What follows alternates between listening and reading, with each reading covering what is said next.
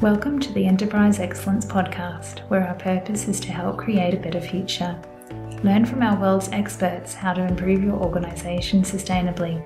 Learn how to achieve and sustain an excellence journey for yourself, others, and the planet. And I'm your host, Brad Jevons, coming to you from Brisbane, Australia. We are proudly brought to you in association with SA Partners, a world leading business transformation consultancy. SA Partners are a truly purposeful company focused on helping organisations achieve sustainable improvement for themselves, others, and the planet. Welcome to episode 98 of the Enterprise Excellence Podcast. This episode is focused on the book TPM, a foundation of operational excellence. I am so pleased to have with me today the authors of that book, Mr. Peter Willmott, John Quirke, and Andy Brunskill. The knowledge and background in enterprise excellence among my three guests is extensive and large. It is such a pleasure to have them on the show with us today to discuss this amazing book and their achievement of the Shingo Prize in recognition. Let's get into the episode. Peter, John, and Andy, thank you so much for joining us today. Pleasure. Thank you. So, guys, I'm really keen to know what's the backstory for this book to start to be formed. Perhaps I can start off with this, Brad. Um, I've been involved with TPM one way or another um, for the past 30 years or so. And round about 10 years ago, out of the blue, I had a phone call from John, John Quirke, who said to me, um, I keep coming across the work you've been doing in Ireland. What do you intend to do when you retire? So I said, leave it leave my legacy of TPM. That's the words he used.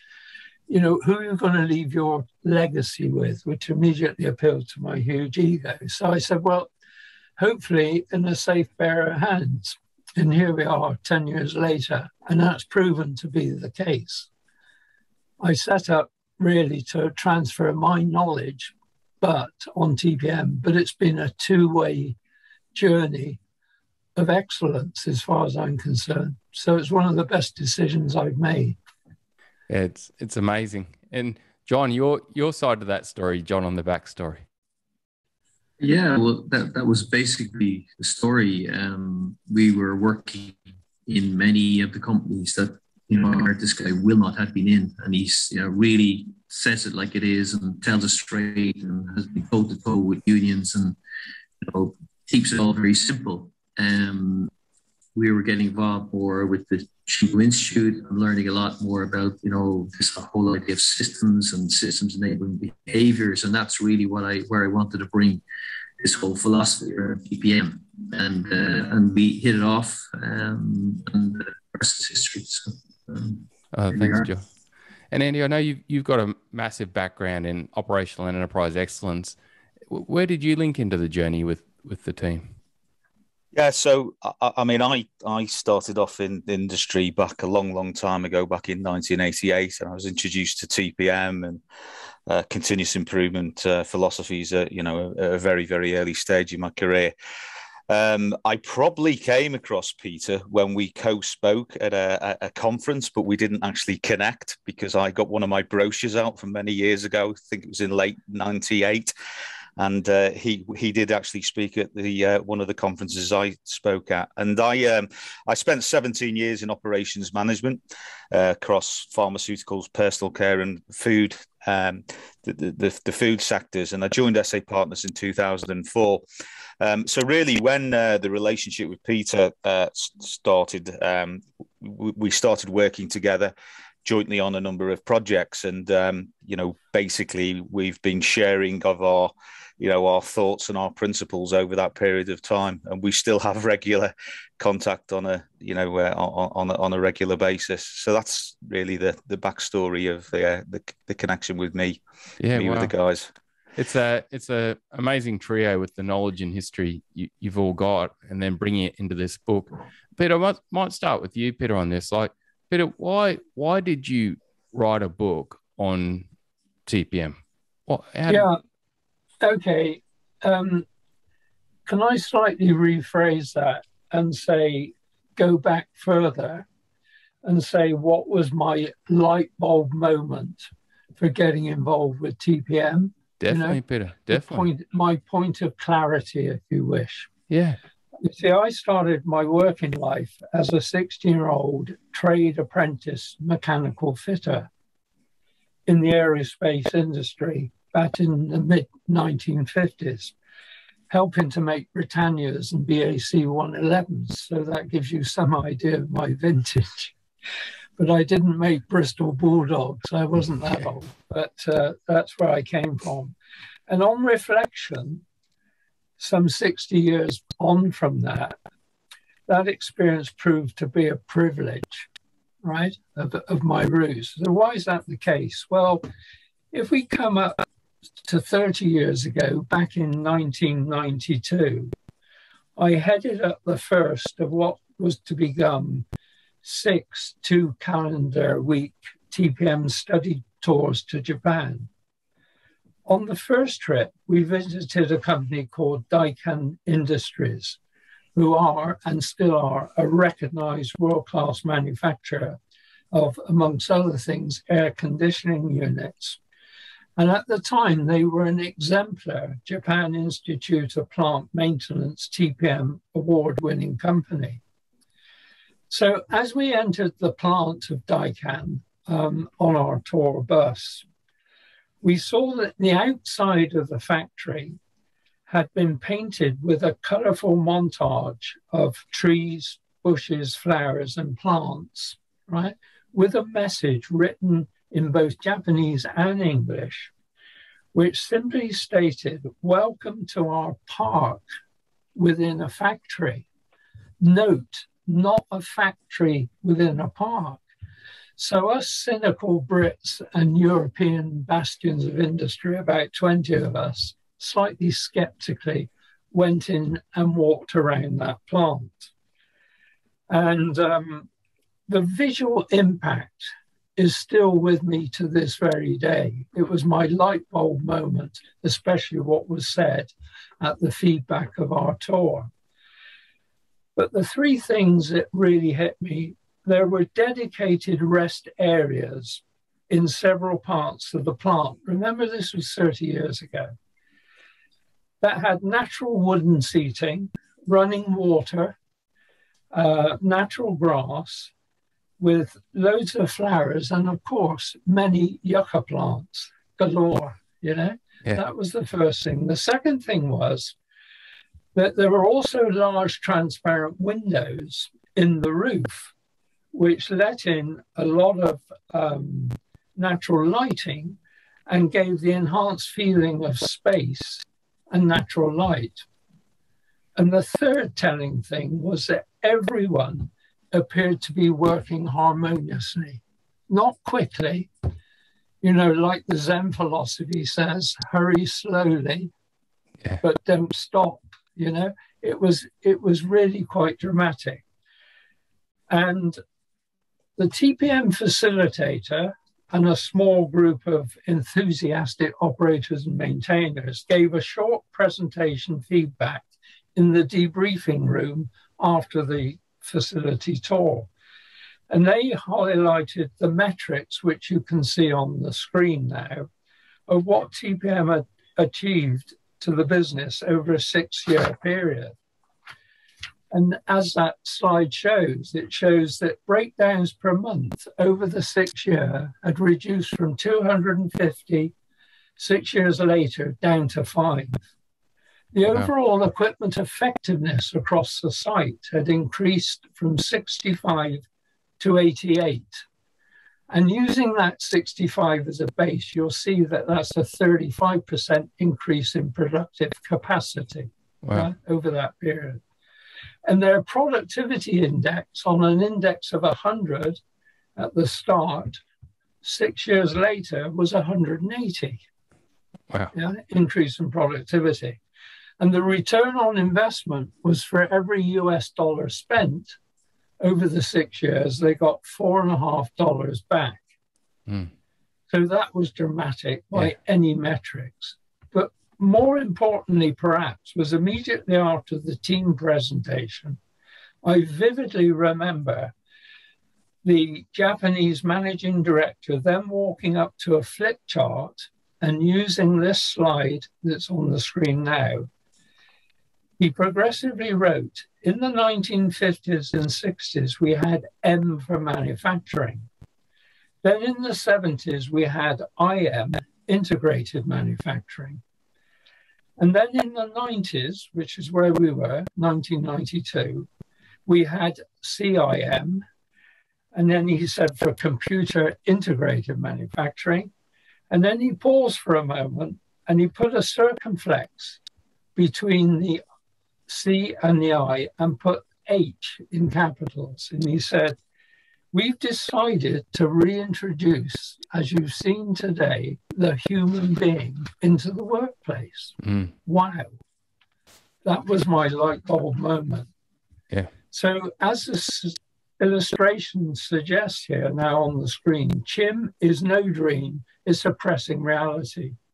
And today, 30 years later, my interpretation of that powerful message that it certainly represents a challenge for all of us to develop and harness our people's skills in parallel with yet more advancing automation, data capture, and technological innovation of what we're referring to nowadays as Industry 4.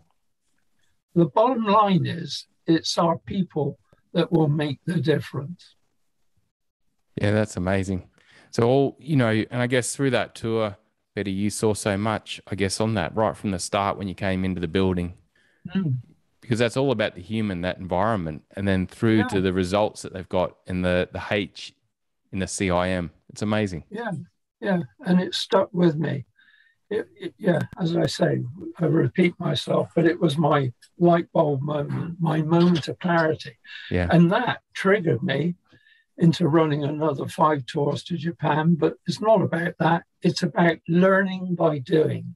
TPM is learning by doing. Hmm.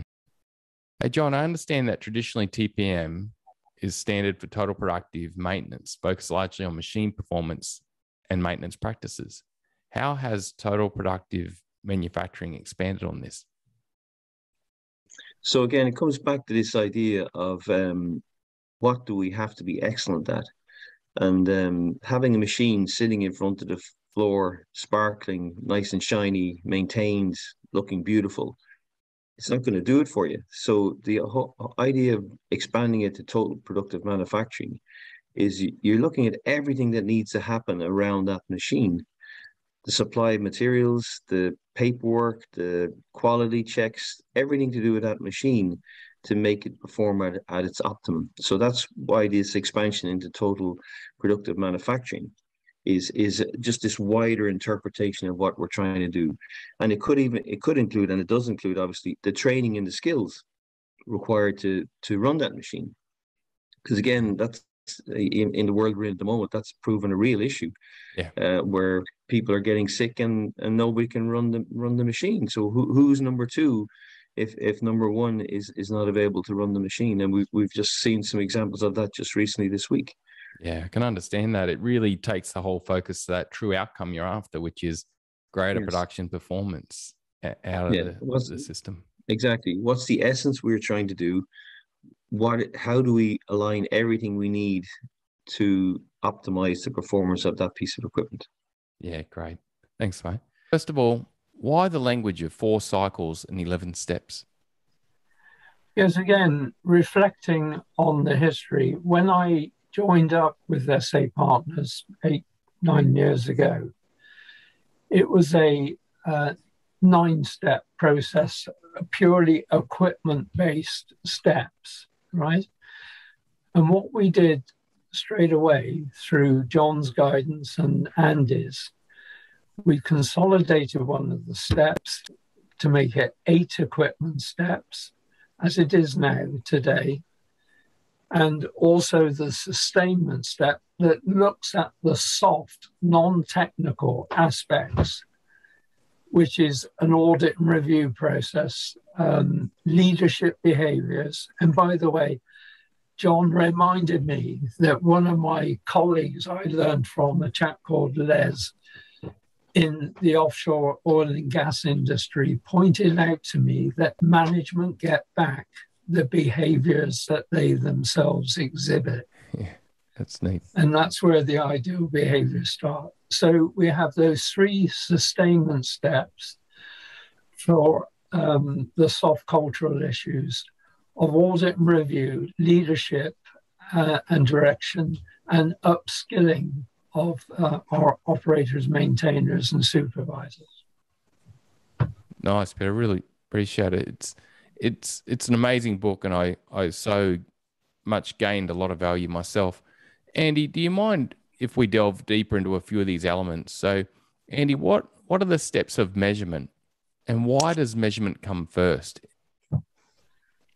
Okay, yeah, sure. So we'll deal with measurement first. So I suppose measurement comes first because we need to know where we are, uh, and measurement is um, is split into three steps. The first step is we talk about sources of information and what do those sources of information tell us? So what are the various sources that we have in relation to tell us about the equipment its effectiveness?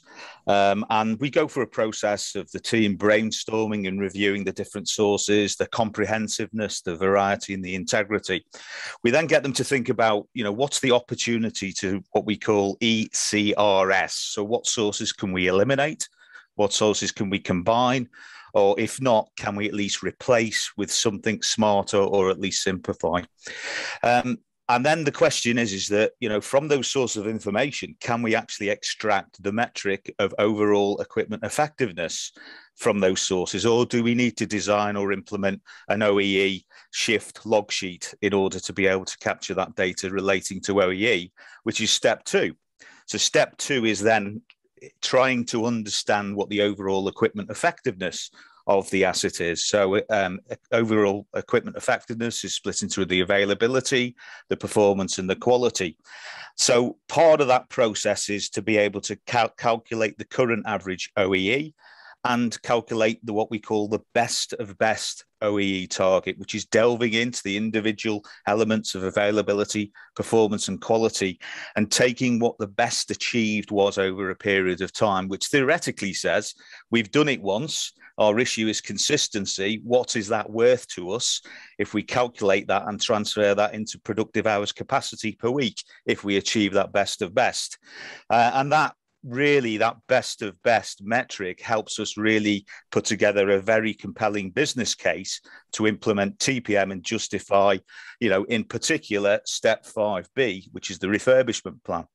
Um, so that's step two. Step three of uh, the measurement cycle is then looking at what are the factors that contribute to that current OEE figure in terms of what we call the floor to floor and the door to door losses. So we look at what we call the classic six equipment based losses of availability, performance, and quality losses. And then we start to understand how big are those losses and what's the opportunity. But we also look at what we call the floor to floor, the, the door to door management losses and the supply chain losses. And what this allows us to do in step three is it allows us to pinpoint the accountability levels for those various stages of losses. So really that's what that's what the measurement cycle does in, in, in terms of the first cycle of the process. Indeed, Andy. So you you really getting into the operation and cleaning up the whole measurement approach because I'm guessing sometimes it may not be there or it could be complex or coming from all over the place. Getting down to that baseline, but I love how you've defined then what once you get into OEE, let's just look at what's the best we've done before. Because if we've done it before, we can do it again. Absolutely, yeah, and and interestingly enough, the example we use as part of the workshop and the learning is uh, we look at a golf performance. So uh, you, know, those of us who play golf or familiar with golf will know that you know if we looked at our golf performance over a period of time and selected the best scores we had at each hole, we, we apply that best of best philosophy. Uh, it's great. Our, our our our problem is consistency, but we've done it once, and what it does is it creates a realistic target for the team and mm. it's a it's a measurement that they can own. And uh, you, you, know, we've been really successful in helping teams achieve that as one milestone two target, which has been really uh, successful and uh, enlightening. Yeah, and then Andy, I, can understand that wall to wall is about really then understanding the whole equipment across the, the floor. But then you mentioned door to door is then about the leadership ownership and the ownership and accountability is above and yeah, well, you, you know, again, just uh, only uh, with a client, myself and John with a client just uh, this last couple of weeks, and you know, you will get losses that the the team who run the asset, the, the operators and the maintainers, if we run out of consumable materials, that's the job of the supervisor, like glue, you know, for the uh, for, for the for the partner, um, that is a that is a management loss. If we haven't got the labour available to run the line, that is a management loss. So what we're trying to do is pick up, you know, the losses in various buckets. The supply chain losses could be the fact that we are unable to uh, procure the uh, materials and have them on site, or we have you know um, uh, bulk mass that fails and is rejected. So what we're really trying to do there is create accountability at the various levels uh, for the losses. Yeah, that's neat. It, it gets everyone involved, everyone who impacts that that equipment and that performance of that operation. It's neat. Yeah, yeah. Hence the sort of total um, piece of you know, and again, whether you're, if you're working in manufacturing, it may be total productive manufacturing, but if you work in a wastewater treatment plant, you know, they're not ma- manufacturing things, and they may call it you know, um, asset optimization, for example, and again, tailoring the term of TPM, but ultimately, it's about today people matter, as uh, as John and uh, Peter have mentioned before. Oh, that's neat. So Andy, the the second cycle is condition. Like, do you mind taking us through that? You've got a baseline then of measurement. You you you're starting to understand where the impacts are from wall to wall, door to door. Then it comes down to condition. What's that cycle? Uh, yeah, so so the the conditional uh, cycle, uh, Brad, is is again that's split into uh, in, into three steps. Step four, five A, five B, which went from the previous nine step model. We consolidated two of the steps into under step five, and uh, we have step six. But basically, the philosophy behind the condition cycle is is that um, you know when I first saw TPM back in the late '80s, you know one of the things we did is we got we got into it to start doing a deep clean on the equipment, and I, I actually termed this cleaning without meaning, and specifically step four is what we call a criticality assessment, which is about operators and maintenance co- colleagues becoming more equipment conscious, okay, understanding what the equipment actually does, how it works, and highlighting the impact of the six equipment losses and how they affect availability, performance, and quality as, as part of the OEE.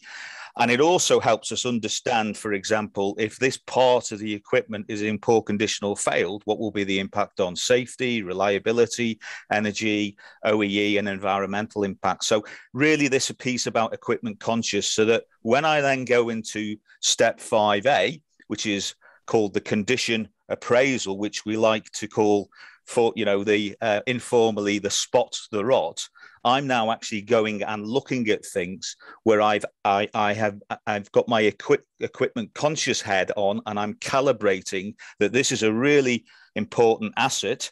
And if this is in poor condition or failed it will have a high impact on safety, reliability, or what, or, or if it's an, an, unreliable piece of equipment. So, for example, something that's uh, in poor condition and uh, uh, um, if it was in poor condition and failed to have an impact on safety, and it's not reliable, that's an accident potentially waiting to happen. Mm. So, what it does is it helps the focus of the condition appraisal, and then step five B is putting together a refurbishment plan to effectively address the issues, but doing it in such a way where we can restore it to as good as new condition, but being able to effectively look at the justification for restoration against what we get back in terms of our best to best best of best from our from the exercise that we did on step two. So that's ultimately what the uh, what step B is about: the estimated cost of refurbishment, and then step six, which is about building on the planned preventive maintenance tasks that may already exist, but also coming up with a plan for what we call frontline operator asset care or FLOACS.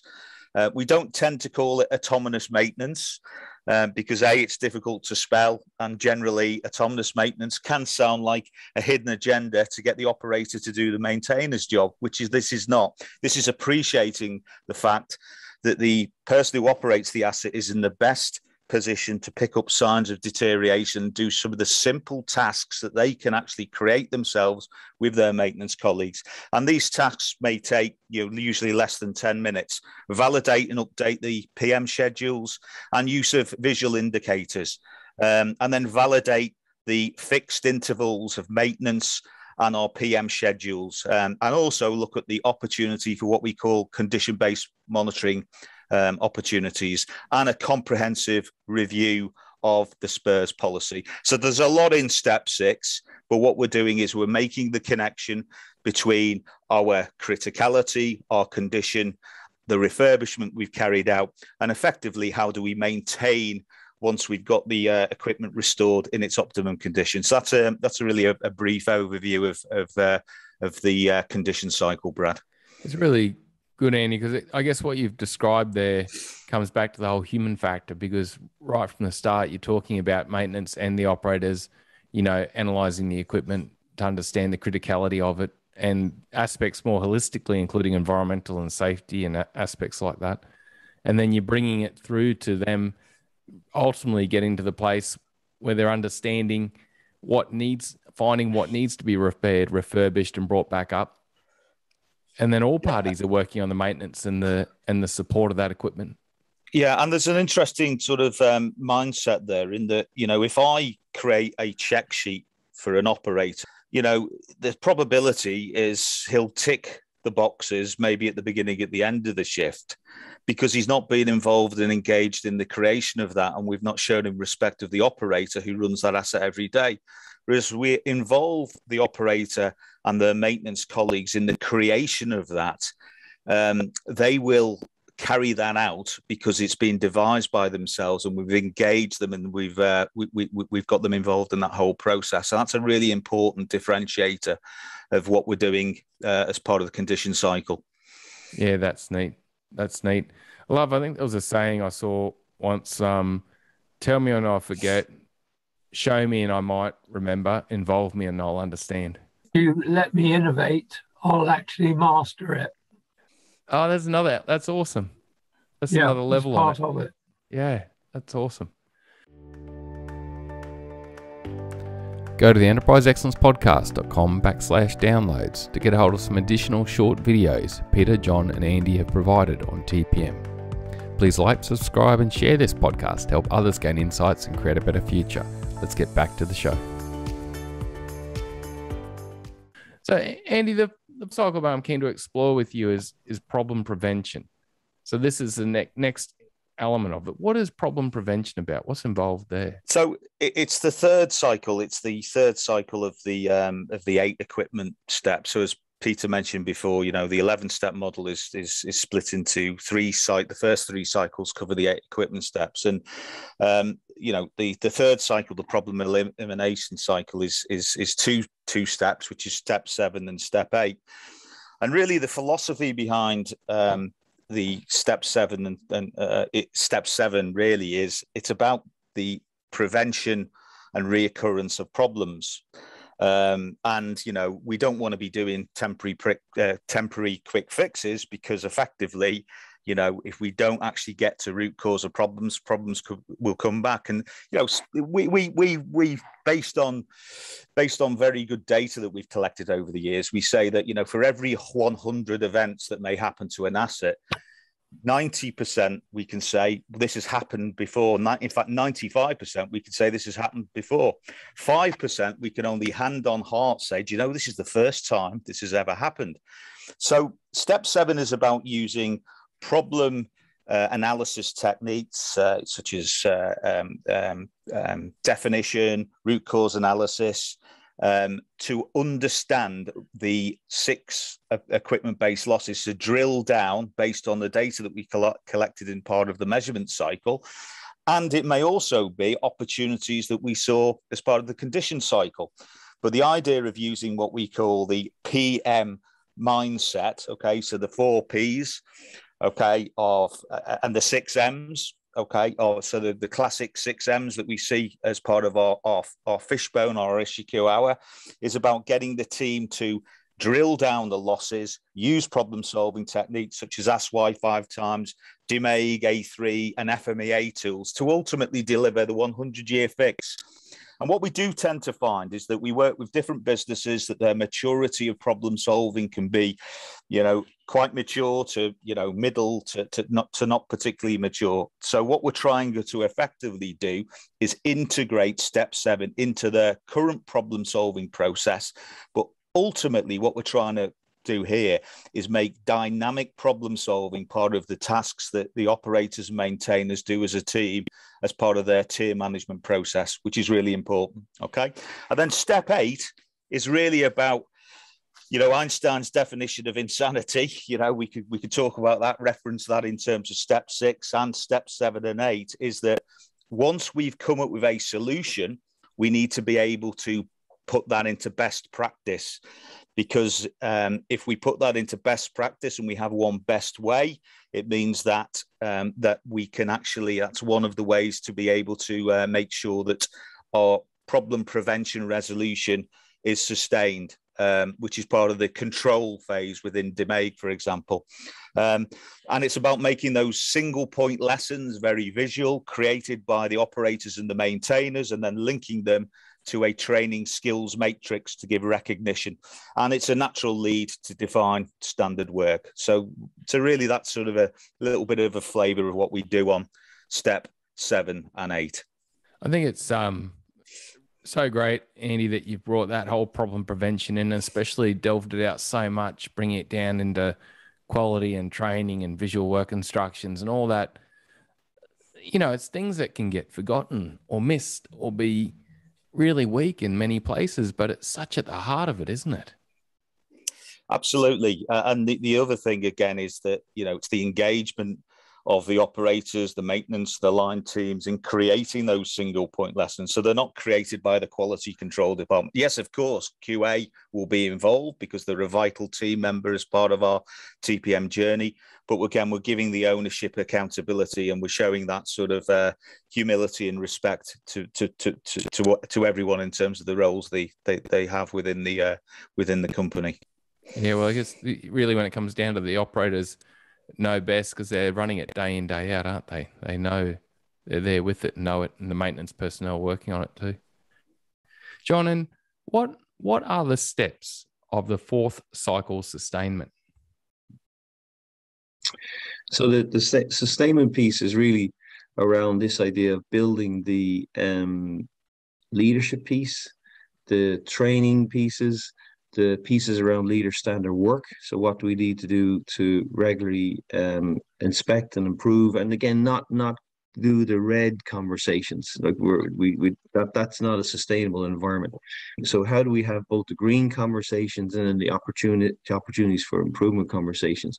So the four steps in in in the fourth part of the model are all involved in um, enabling that to happen. And most importantly it's giving people leaders in particular um, the ability to have the right sort of conversations at the right time. So when I'm at a um, improvement board, when I'm working with the team on solving a problem, when the machine isn't performing well, am I going in with the red conversation or am I going in with the conversation? Okay, here's a chance to understand what's going on here. Here's another. Here's a chance to improve what's happening, um, improve a procedure, um, learn something we didn't know already. So that's the sustainment piece is really all about putting those peaks, those steps in place. I love that language you're using there around the red conversation, the green conversation. Like what you really, yeah. am I right in what you're saying is that our approach and our language will either turn a situation so, to this flaming red fight or flight type of situation or a green yeah. growth behavioral yeah, outcome. Exactly. Yeah. It's, it's the, it's the old behavioral psychology stuff. I mean, if you're, you're having the wrong, red conversation, straight away all the blood is going away from the parts of the brain where we need it and we turn into a lizard and we're trying to find a place to hide. Yeah. Um, whereas if we have the positive green conversations, we're in that rich part of our brain where we can think, we can problem solve. And, and that's a skill. Sometimes, and sometimes leaders don't even know they're having that conversation. And it's such a visceral thing for leaders in particular when a machine is just standing there looking at them doing nothing or doing the wrong thing. And it's so obvious that this is a wrong situation. It's very easy to fall into that language. Whereas um, if we can say, okay, let's take a step back. What do we want to do here? How do I want these people to feel after I've had these conversations with them? Do they want to feel disappointed and dejected and feel their failures? Or do I want to feel, make them into mini scientists where they've suddenly discovered something new about their process that they didn't know before? And there, that's the sort of green conversations you, you, you want to ha- try and have with your people, not only associated with, with uh, machinery failure, but also with um, any failure within an organization. We, we, we need to encourage green conversations. We need to challenge, obviously, accountability and ownership. But the more green conversations you have, you don't have to have those conversations because people take it on. Um, they're they're not afraid, um, they're interested, they're engaged, they're learning. Whereas, um, you know, this thing about um, oh, nobody's accountable. It's, it, nobody's accountable because they're scared of their life that uh, something will go wrong. Yeah, so they're doing everything in their way to to avoid it or or hide it in that type of piece. Yeah, John, what with the learnings and what you and the team have written about with total productive manufacturing. What stops organizations actually implementing this and achieving the results from it from what you've seen? Um, so the the main um, issue is really around this idea of what do we have to do. Um, so if if our making product, if the quality of our product, if the performance of uh, our delivery, our um, profit that we make is all dependent on the performance of a piece of equipment, well, then every part of the organization needs to be aligned to that essence of what we do. Um, so the quality group can't over complex um, uh, changeover processes. They, they, we, we can't um, uh, you know, we can't have multiple checks or multiple checks, uh, um, which we know the data is all telling us that this is very unlikely to happen, but we still we still do all the checks. Um, we can't be um, taking people away from the equipment for non-value add training, you know, or or you know, or um, so the, the the issue, or worse still, we try and penny pinch on on maintenance spares or why do we need that belt? We can get this belt from China or back or wherever for half the price uh, of this guy who's selling it down the road. Um, so we, we make mistakes around how we align as an organization to optimize the essence of what we do and that's the biggest challenge you know people say oh i'm i'm i'm not involved in the equipment i'm i'm, I'm a quality person you know or I, i'm you know i'm uh, whatever procurement person. My job is to get the cheapest price and blah blah blah. Or I'm the operations guy, and why the hell is the maintenance cost me so much? Um, um, so it's that alignment of thinking around the essence of what we're trying to do. The money in your pocket, if it depends on the performance and the quality of that equipment, well, then the whole organization you know, I'd say they need to list off nearly all the bits of the equipment. It's like um, going to a, a restaurant and asking a, mate, a waiter what's on the meal and they don't know what's on the menu and they don't know. So every person in, in that organization needs to know every part of those ingredients that align to give you that, that perfect meal. And that, that, that can be a gap that that piece of equipment makes or breaks the value we deliver to customers depending on how healthy it is. We need to treat that piece yeah. of equipment like a customer from every angle no matter what your division you sit in. Is that yeah. what you're saying john? Yeah. yeah exactly. If your your whole family and whatever you want to do in the future is going to depend on the performance of that equipment. Um it, that's the way you think. It, it's it's you know it's like your oxygen. Yeah that's neat. Just building on what John said, if I may, uh, and slightly turning it around, not instead of John's answer, but quite often in response to what stops organizations implementing these key learnings, was your question. Over the years, I've often been asked a salutary question how many successful TPM applications have you been involved in? Which is a good question. And I say, before I answer the question, I need to clarify by asking you by success, do you mean having helped, say, 100 companies over the last several years to get their TPM program up and running? And then I go back five years later to see if TPM is still part of the way we do things here um, around here. If so, the answer is probably in the range of one to five. Why is that the case? Mm. Yeah. And the answer is that you can glibly say, ultimately, that success and sustainability depends on leadership. Yes, it does. But it's a bit more complex. And over the years, it's been my privilege to be involved in many debates like this, but also through some research as well on any change program of continuous improving, including TPM. And the sixth reoccurring thing is lack of clear, consistent leadership and direction, which in my experience is the number one offender. Okay, but not the only one. It's a lack of thorough planning, preparation, measurement, and feedback at the outset. And the change program has no clear vision or end game. What's the end game of doing this? or poor, inadequate, inconsistent, and ineffective communications.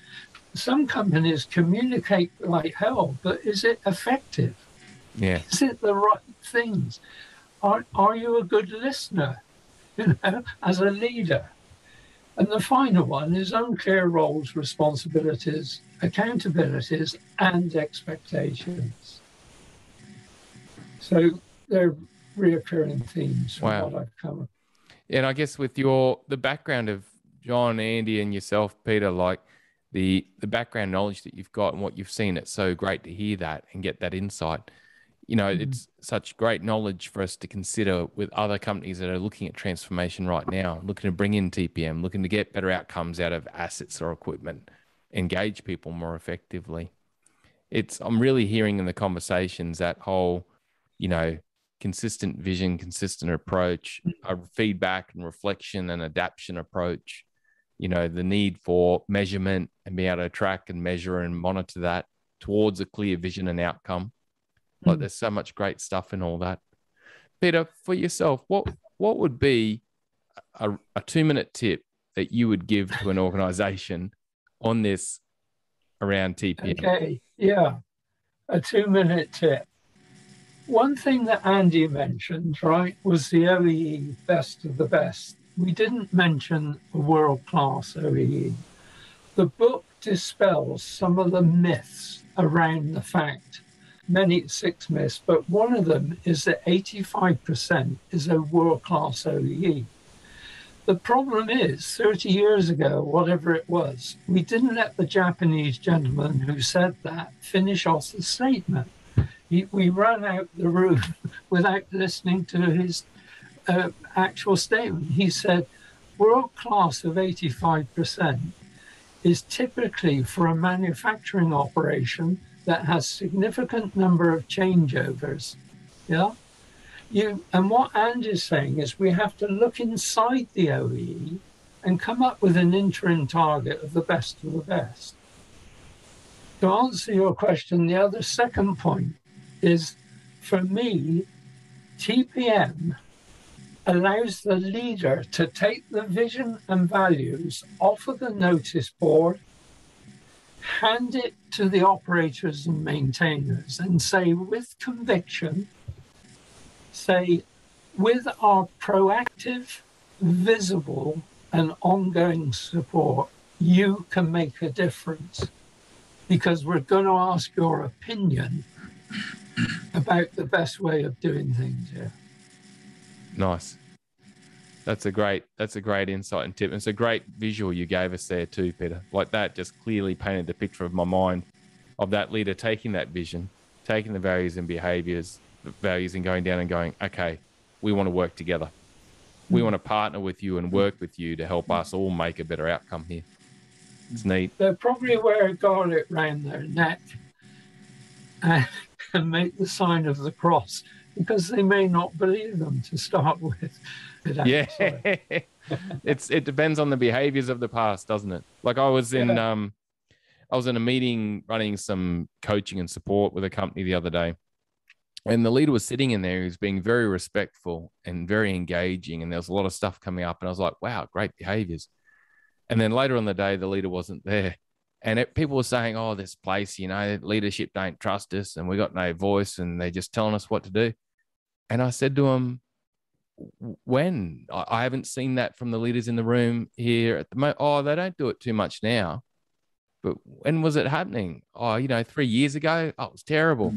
But it hangs around so long, doesn't it? Like it is. That's why these journeys aren't quick, are they? Because it takes a long time to uncrumple that paper. Exactly. Yeah, just a quick comment on that. Trust. Cultural change is evolutionary, but TPM can speed up that process in the right hands. Industry 4 is revolutionary. Yeah, it's amazing what's coming through now, and it's in action, isn't it? It's it's being done right it ain't now. going to go away.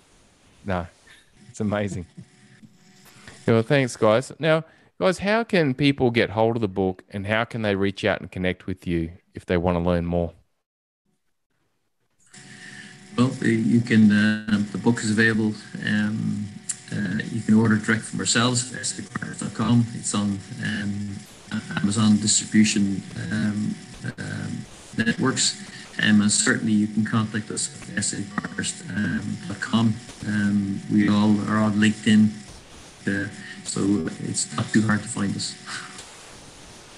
Yeah, well, thanks so much, guys. Well, guys, I really appreciate your time. Thank you for joining us and sharing your knowledge and helping us create a better future. I really appreciate it. No problem. Thanks for the opportunity. My Pleasure. pleasure. Thank you. Thanks, Brad. See you guys. What a great episode. Remember, you can go to our website, enterpriseexcellencepodcast.com backslash downloads to get hold of some additional short videos Peter, John, and Andy have provided on their approach to TPM. Please like, subscribe, and share this podcast to help others gain insights and create a better future. There were two key takeaways for me from this episode. Firstly, the power of involving everyone in the process of TPM within an operation. Everyone from operators to maintenance to scheduling have a part to play in achieving operational performance, particularly with machinery. Building transparency and collaboration within these differing teams is such an important step for improving culture and ultimately machine performance. The importance of purpose is my second key takeaway. Having something the team believes in creates motivation and drive towards the goals they are chasing. Purpose and meaningful goals is a common topic many of our experts talk about on the podcast. If teams can find a purpose for what they do and leaders lead this well, it creates a level of commitment and energy that is otherwise unachievable. Thanks again for your time and knowledge, Peter and John and Andy. Thanks for writing such an amazing book that is truly helping us create a better future. Bye for now.